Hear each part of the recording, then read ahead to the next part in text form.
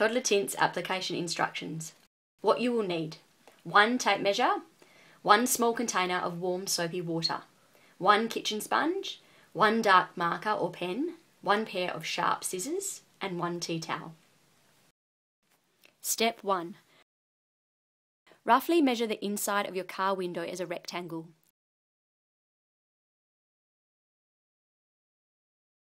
Cut the toddler tint to the size whilst it is still on the protective film.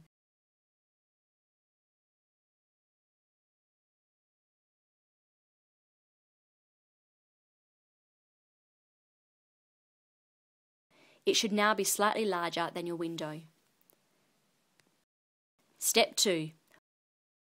Wet the inside of the window using warm soapy water and a sponge. Do not dry the window. The excess water will assist with the application and allow the toddler tint to move easily as you adjust it to fit your window. Step 3. Remove the protective film from the toddler tint.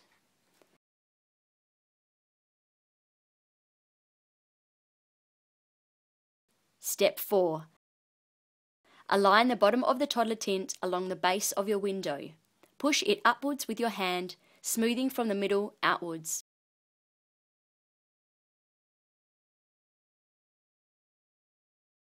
Ensure that the toddler tint is pushed right into the sides and corners of the window and there are no air bubbles.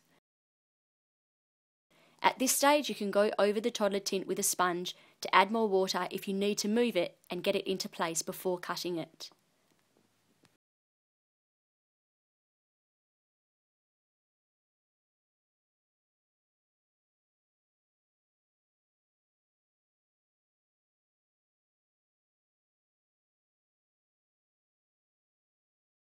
Step 5. Once in place, dry with a tea towel and use a marker to outline the inside of the window frame on the toddler tint.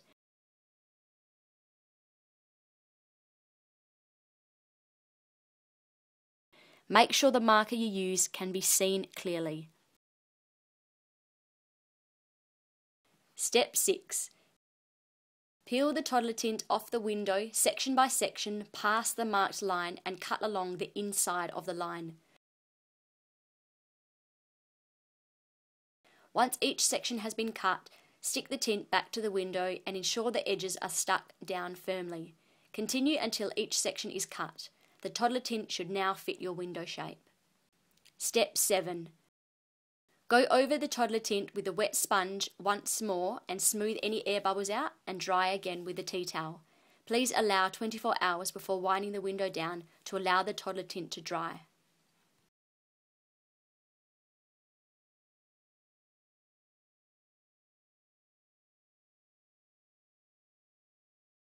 For the removal of your toddler tint in the future, please refer to our website www.toddlertints.com.